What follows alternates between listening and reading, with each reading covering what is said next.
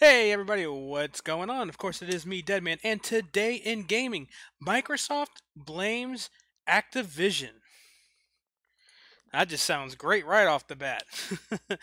okay, well, if you are the lucky people who have purchased Call of Duty Infinite Warfare for the PC, and you're wondering why you can't play with certain friends, well, that's because you can't.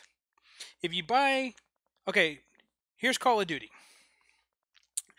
and you have, well, two places to buy it. Say two places to buy the game. You can purchase the game for PC on the Windows 10 store, or you can buy it from Steam.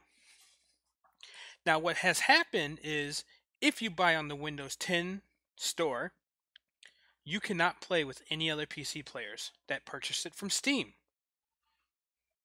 It, I know, confusing, right? It doesn't make any fucking sense. So, the copies of the game purchased on Steam and the Windows 10 store are not cross-play compatible. Uh, that means if you did buy, uh, those who bought the games at different storefronts can't play together. So if they bought it on Steam, they can't play with the Windows 10 players, and if you bought it on Windows 10 on the Windows 10 store, you cannot even play with other people who bought it from Steam. And that right there is the biggest fuck up that anybody could make. Did Microsoft make this fuck up? Well, they're pushing a universal uh, Windows platform. They're pushing for, you know, hey, cross play.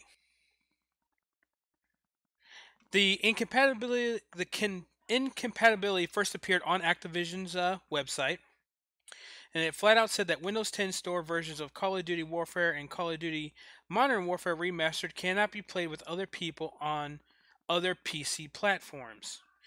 Uh, they would only work with other Windows 10 store copies of the game. And did come out and say that we do support cross play between devices and platforms for partners who enable it. And another source also said that the Call of Duty Infinite Warfare uh, UDP or Universal Windows Platform Toolset doesn't prevent crossplay functionality.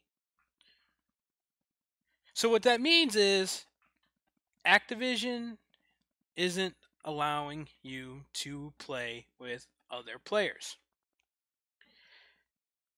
It's like buying a game from one person buying Gears of War from Best Buy and another guy buying Gears of War from GameStop for the Xbox One, but because they bought it in two different places, they can't play together. It it's fucking stupid. What do you guys think about this? Let me know down in the comment section below. And remember guys, if you did like this video, please hit me up with that like and subscribe. Also, when we get to 100 subscribers, giveaway! I do this all the time. Uh, a giveaway, full copy of Minecraft for the Xbox One. And I'll catch y'all next time.